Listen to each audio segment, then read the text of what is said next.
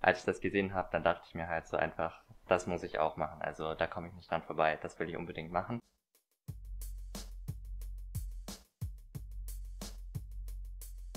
Also ich bin Thayer, 21 Jahre alt, äh, wohne in Konstanz, das ist im Süden von Deutschland. Ich mache jetzt gerade Fulltime E-Sports. Also bei mir war das so, ich habe Ende Season 4 mit League of Legends angefangen und dann waren auch an diesem Jahr die Worlds und da habe ich die Finals gesehen. Boah, da war das äh, in einem ganz großen Fußballstadion und als ich das gesehen habe, dann dachte ich mir halt so einfach, das muss ich auch machen. Also da komme ich nicht dran vorbei, das will ich unbedingt machen. Vor ungefähr zwei Jahren habe ich dann mit einem Kumpel ein Team aufgemacht.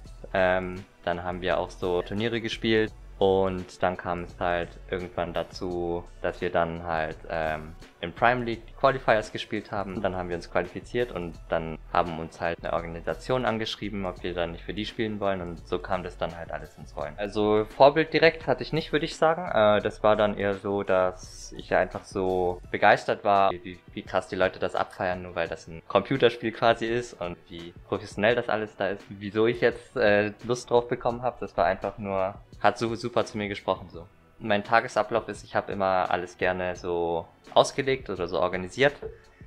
Ähm, zurzeit stehe ich auf. Ich mache so Wrist Stretches, damit also Langlebigkeit für für meine Handgelenke und so, das ist super wichtig. Ich glaube, das wird mega hart unterschätzt. Dann gehe ich mich in-game aufwärmen. Dann habe ich letztens hinzugefügt, dass ich noch äh, 10, 15 Minuten meditiere, weil das mit der Zeit auch sehr stark aufs Mental geht, auf die Psyche. Ich mache das jetzt schon ungefähr so zwei Wochen oder so, das hilft super. Dieses typische, stereotypische Bild von Gamern, dass die so den ganzen Tag nichts machen, ähm, dass sie, sie nicht auf ihre Gesundheit achten, dass sie alles andere vernachlässigen und so und das möchte ich halt auch mit der EPF äh, natürlich verändern wenn du darauf achtest, was die anderen Leute, die nicht so viel Ahnung haben von E-Sport, darüber reden, äh, dann ist es halt meistens so in einem leicht negativen Licht. Aber ich glaube, das ist halt ein Ding, was sich in der Zukunft, also nicht in allzu ferner Zukunft, ganz schnell ändern wird. Und dazu will ich halt auch beitragen.